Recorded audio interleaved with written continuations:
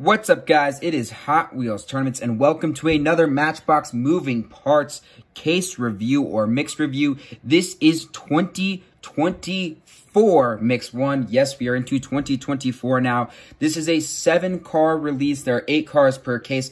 I only have six of the releases because one of the releases, the green Ford Mustang convertible, I just didn't want want that much. I have the red version, the first edition, which I really like. There's the 70th anniversary. I just didn't feel the need to get the green one. I didn't think it was a completely worthy addition to my collection, so I decided to leave it out. But I have the other seven from this release because I all thought they were really good, and I wanted to talk about them. The other thing about Mix 1, this is the debut of the new packaging, which we will talk about as we get going. Anyways, let's start off with 2023, the Dodge Charger SRT Hellcat gets its third color. We have seen it, what, in blue and purple now? And it is going yellow with its third release. Now, the point of this packaging is it is completely recyclable. You can recycle or compost everything that comes in this packaging, which means all that plastic had to go. Talk of the town has been the cars are exposed. No covering on them, so you can see some of the car, but not all of it. Personally, I prefer if you are able to see all the car because you can see the tampos and any defects in the car. You're not exposed to the whole car here, so you might have some issues, but I do respect the fact that this is a green alternative. Also, it's way easier to stack. I didn't hate the old moving parts packaging all that much. I have an example of it here. Um, it was a little bit difficult to store. A lot of people despised it. I wasn't the biggest hater. I like that it showed off the moving parts. Um, but this one is much cooler. You have more featured card art that shows what the moving part is. And, um, you know, it's a lot easier to stack up and things like that. You can fold these together, you know, put them how you want pretty easily. So can't complain about that. Also, you can stand them up, uh, unlike the old packaging, which you just kind of had to leave like this. You try to stand it up, it's just going to fall down. Anyways, enough on the packaging. What we really care about is the cars themselves. People have also been commenting this was going to be, you know, easy to steal. It's it's not. It's probably harder to steal and takes just as much effort as it takes to steal a normal Hot Wheels or Magic Matchbox car already. Anyways, here we go. Let's open them up. So you open up on the sides, a lot like you do the uh, boxes. And then you can see that the wheels are inserted here, so you kind of have to pop the car out. So, yep, you pop it out, and boom, out pops the car of its little container. Anyways, let's talk about the Dodge Charger SRT. Really, really nice casting. It always has been right here. You can see we get some license plates, some tail lights, Side deco, we get the Hellcat logo. I believe that's what that is. Yes, the Hellcat logo, which is nice to see. You get the headlights. You have that grill as well. And you flip it open. Unfortunately, not a fully detailed engine on this one. This one is less tampo-less, but that's okay. This is a great car. It's always been a great casting. That hood is a seamless transition for the most part. Um, and it's been one of the better models they've released in moving parts, which is saying a lot because there have been a lot of fantastic releases. But the yellow one, very worthy addition. I hope we get a red one at some point, just that classic Hellcat, uh, Hellcat color. You know, we will see though, but maybe the best edition. The blue's really nice. The purple's all right. I think the yellow might be the best, especially with those blacked out wheels. It looks super, super cool. Let's keep moving along, though. The Toyota Land Cruiser FJ40. You can see on this one, the opening part is the doors, which is cool to see flip it around too if you guys want to see the back at all. You can just, it just talks about the packaging for the most part. Compostable inside piece, uh, made from recycled metal. All super cool. Love that they're doing that. This is what? This is the second release for the FJ40 in moving parts. It was a new model last year, debuted in like a teal or a green, right? I'm not exactly sure what the best way to describe that color is. The doors do look a little bit weird on this one. They are super noticeable, which I'm not necessarily the biggest fan of. But as we pull it out, you can see you get a big plastic front right here. I really wish that was metal, but you know, it's all right. Anyways, as far as tampos goes, you get a very nice headlight and grill section done here. Nothing really on the side, but you do get that moving part door, which this is not the easiest moving part to open from what I remember. Um, I always hate picking at this because I feel like I'm going to see if the other door is easier. Yeah, this is a really hard moving part. Anyways, Rear, you see you get some basic detailing right back here with some, you know, tail lights, some bumper stuff right here. I wish we had a license plate. Um, it This looks a little weird without the license plate. I wish we had some detailing there. I'd love for him to do a Colorado plate at some time. Uh, I'm from Colorado. I can't remember a Matchbox model with a Colorado plate, but I think especially on like an FJ40 like this, those green mountains would look so aesthetic. And then we'll keep trying to pick at the door. Um, we do get the roof. This is tampoed on, this white. Um, very nice section done here. Again, this is why I would like this packaging. A tampo like this would be very prone to being like scuffed up or like nicked, and I'd want the best version. But obviously in this, you wouldn't be able to see it. Old packaging, not issue. Flip it over, you can see right away um, if it's done. Fortunately, the one I got here is very well done, and the door is just, it's simply not wanting to cooperate, so we might not show off the moving part on it. We, we all know the door opens. It's not a new model, so I don't think it's particularly important to show it off, but that's the Toyota FJ40. Keep on moving along. The GMC Hummer EV gets its, what, third release now, I believe, right? Uh, it debuted in 2022. It was gray. That gray version was really, really nice. And then last year, I believe it was part of like the 70th anniversary uh, set that was orange. Um, that release is whatever. But if we can pop this one out, this one's really stuck in there. See, these things are not easy to steal. It's probably honestly more work. Because not only do you have to open up the side, which takes as much effort as a blister, but then you got to pull this whole piece out and pop out the wheels, which you can't do from behind. So you have to open up the side and then pop out the compostable part and then pop the car out of the compostable part. So a lot of work there. Anyways, this is a beautiful, beautiful, beautiful blue. Taking a look at the car. No real side deco to talk of.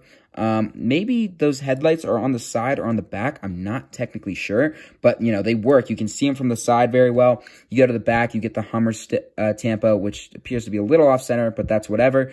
Um, you can see how they use the inside piece right here um, this inside piece that makes up the bed and makes up the seats on the inside. You can see how they use that to layer. So you get the wheel wells outline and then you get the multi-layering on the back. So you get the red, the black, and the silver base to give the exhaust. Love the way that is all layered up. Looks super nice. Love the wind piece too. They obviously give it a little bit of tint. A lot of times when they did this black tint, it'd be too black. You couldn't see the inside. You can see the inside on this one pretty well. You can still see the seats through the lighting there, which is nice. Love to see that. Come around to the front, you get the Hummer logo again tampoed on there with the headlights.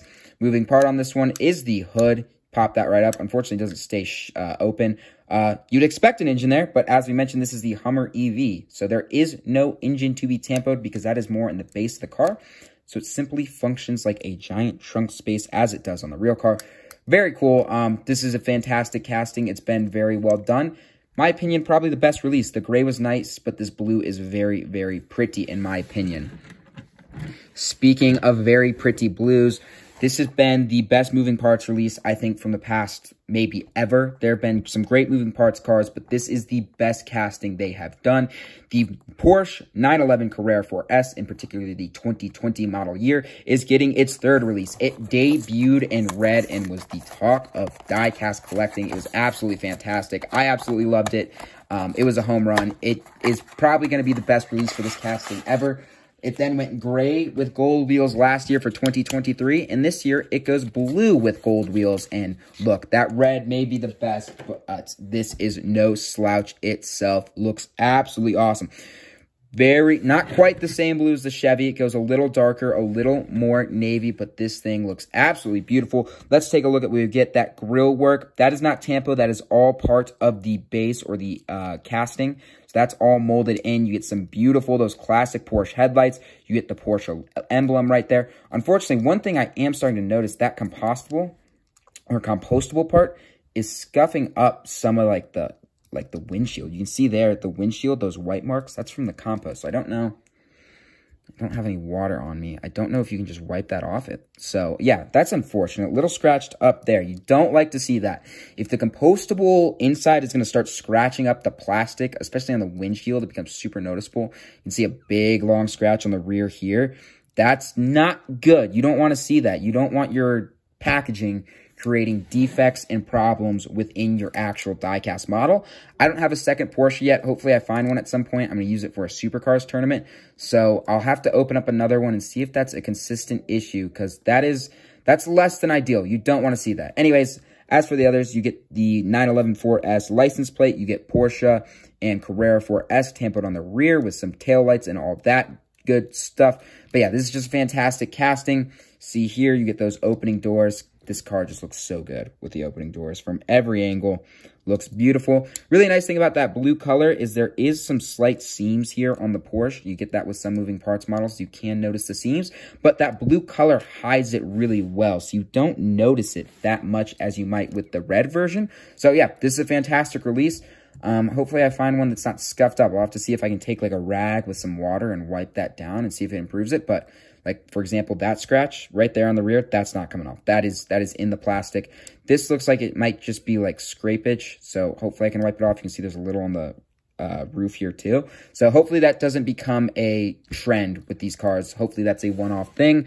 But, you know, if it does become consistent, that's a problem, uh, in my opinion.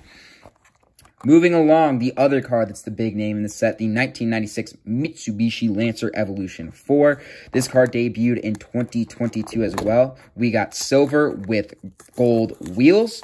Um, it was a fantastic release. In my opinion, probably going to be the best release we get of this car as well. We got it last year in blue, and now we get a very similar version rocking the same wheels in black. So, again, a little challenging to pop these out. Kind of surprising. You can see how those wheels are, like, locked in. Crazy. Very smart. They knew people were going to want to steal these with them being exposed, and they have locked these cars in. They they are they are locked down. Anyways, you can see here, first of all, I noticed no scuffs on my plastic windshield. Like to see that. Anyways, we get some nice five spokes on this one. Turn it around, we get to the rear, we see some detailing, we get the tail lights, the Lancer and Mitsubishi emblems. Again, I like a license plate. I think it looks a little weird without the license plate. You get the license plate. They also hide like fun Easter eggs in there all the time, but not the end of the world. Uh, I always love that the spoiler is plastic. The black seems to match up pretty well here. The shade is pretty similar. Sometimes you run into the issue when you have a metal body and then a plastic part, particularly a spoiler. The colors don't match up if they try to do the same color and it looks really weird.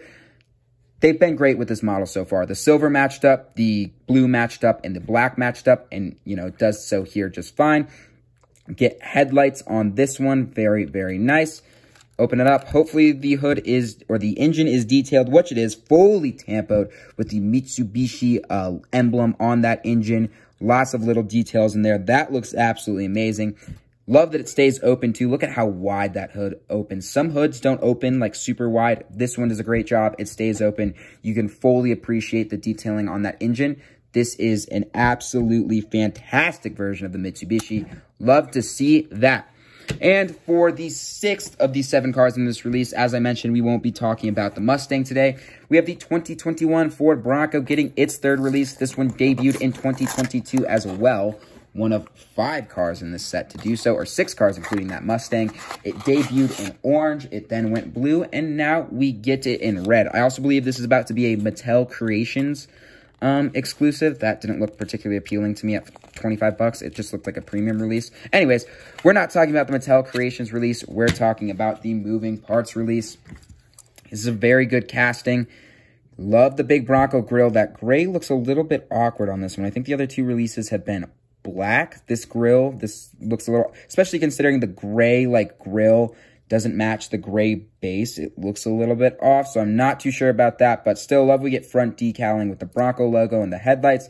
Come around to the side, not much going on here. The opening part on this one, of course, is the doors open nice and wide. You can see just how wide that wingspan kind of is when you open those doors. do the same thing with the Porsche.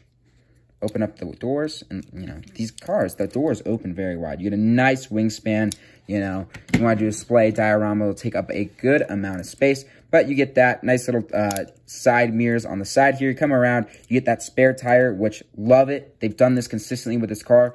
The spare tire is molded. It can only be this type of tire. Um, they can't really decal it because it's technically like a plastic part molded into the interior, but they match it with the wheel every time. So the spare tire matches the wheels, you know, something that, you know, isn't you know, super important, but it's really nice that they do it because it keeps a continuity and a nice feel to it. But you come around to the rear, you see taillights, the Bronco logo, and the Ford logo, and you got a nice release. All in all, um, we're off to a little bit of a slow start in the sense that there's no new castings. Lots of new moving parts castings this year. It's going to be expanded from what it was. I can't remember exactly how many cars they're doing, but we have seven castings in this set. I showed off six of them here today. The highlights, obviously, the Porsche is the superstar, as it always has been when it's released. That Mitsubishi is no slouch either. The Dodge Charger also Very, very well done.